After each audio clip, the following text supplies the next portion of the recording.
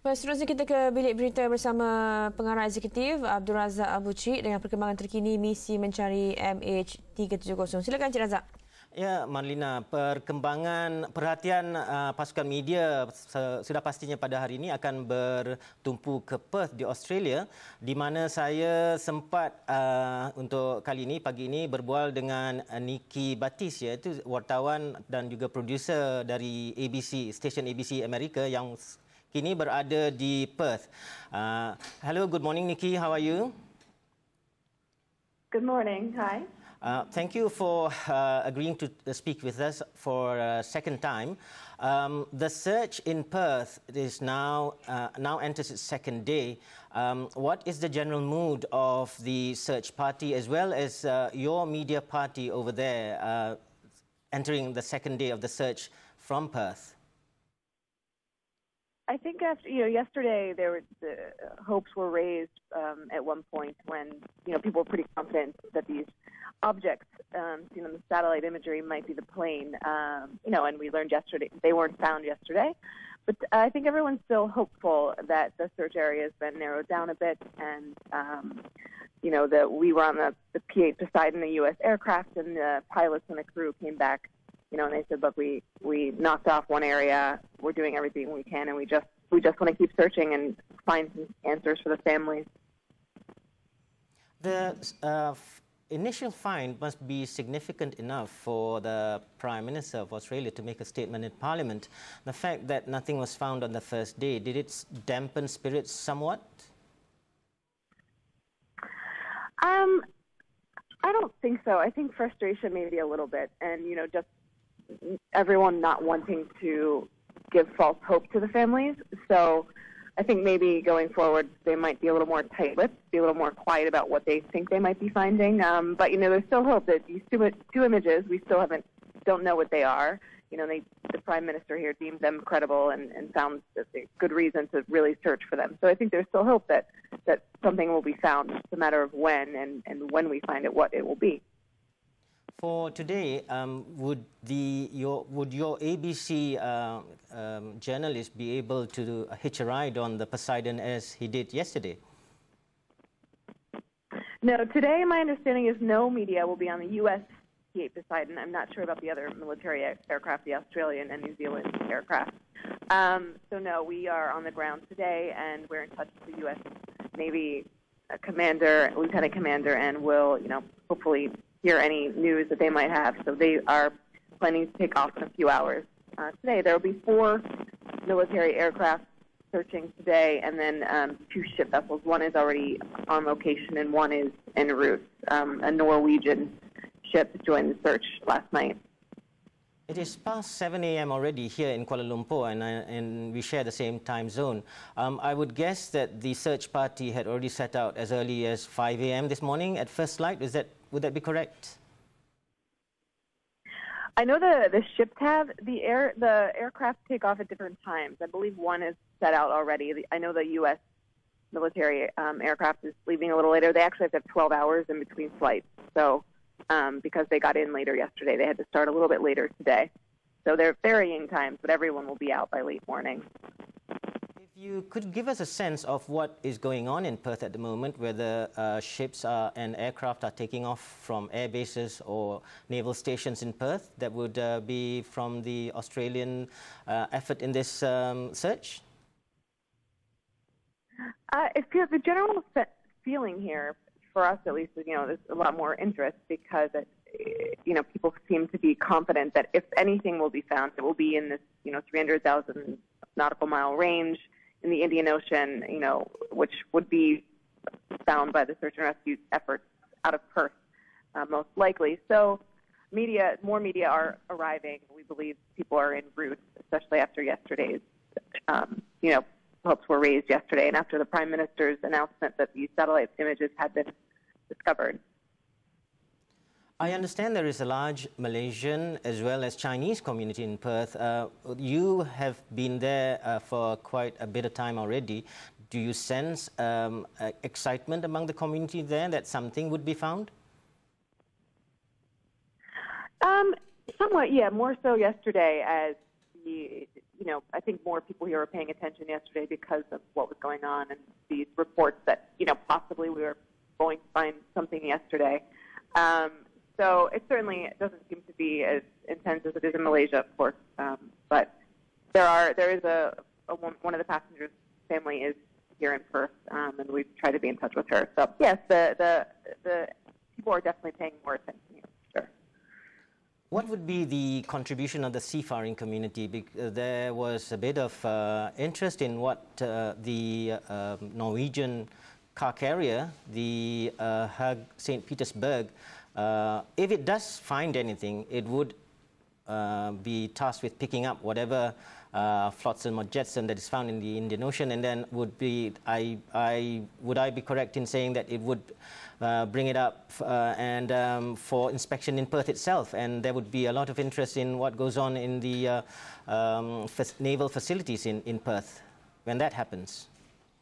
Yeah, I, it's a little unclear exactly what all of the steps would be, but we have been told that you know any images that anything that's found, they'll you know the military aircraft vessels will take photos of what they find um, to analyze whether or not it is in fact a Malaysian flight, and then uh, an entire uh, rescue and recovery team would be sent out to you know pull out any debris, you know, ideally a black box, anything like that. And then uh, I think it'll take some time for them to look at, you know, everything. And, and of course, it won't take, if they identify it's the flight, if they find any debris, then they'll, they'll continue to try to piece together whether or not that will happen in Perth.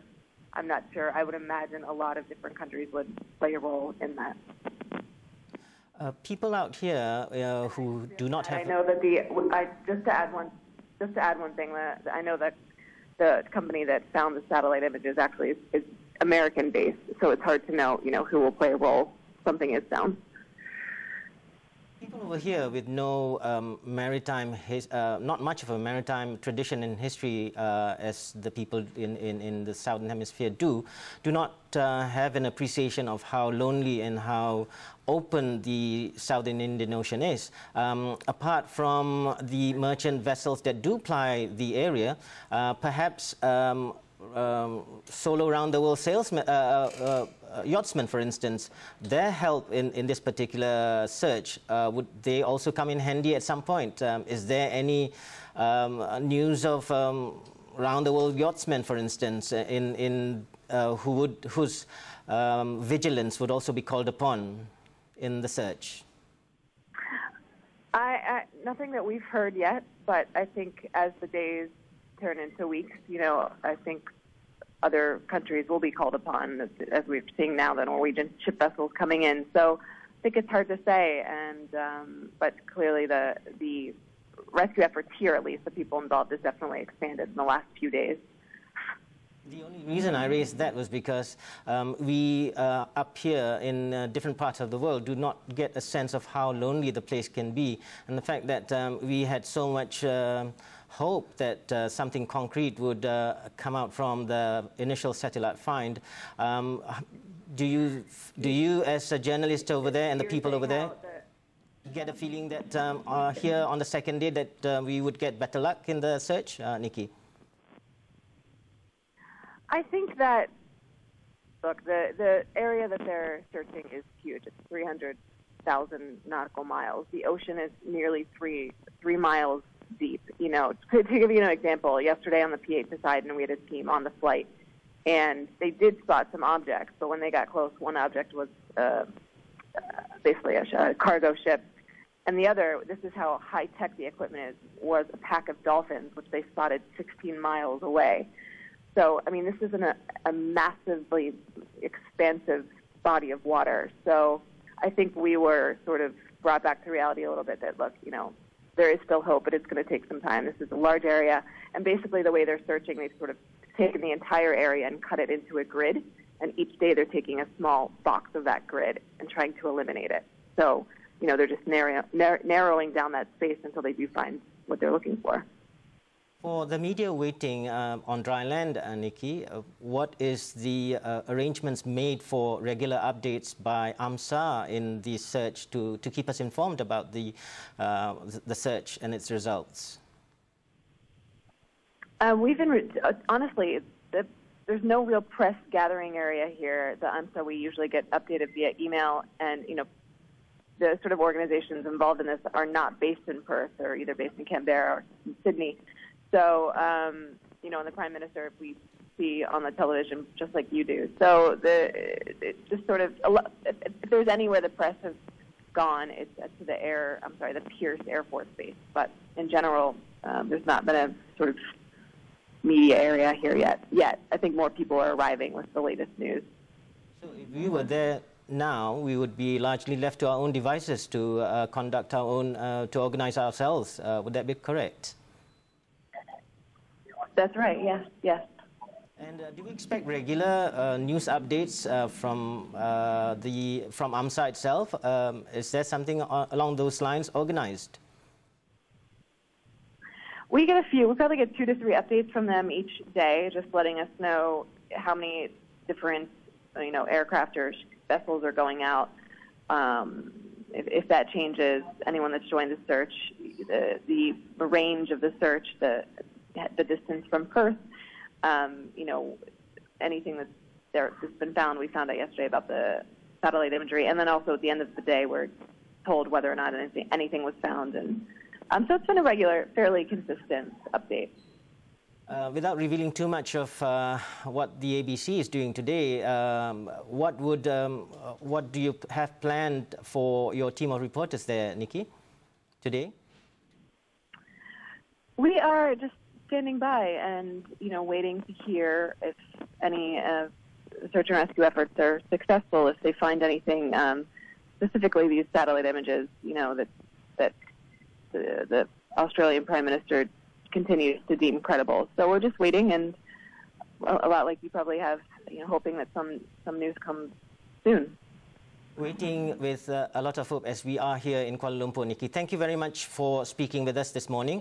Um, Uh, jadi itu ya Marlina uh, berita dari uh, Perth uh, buat masa ini uh, mereka juga dari pasukan uh, uh, wartawan dari ABC di Perth juga menanti akan apa-apa hasil dari pencarian yang akan dilakukan di uh, uh, di luar pantai Perth sepanjang hari ini. Baik, Kembali ke Marlina. Terima kasih Cik Abdul Razak dan itu tadi perbualan uh, Abdul Razak bersama dengan wartawan ABC di Perth.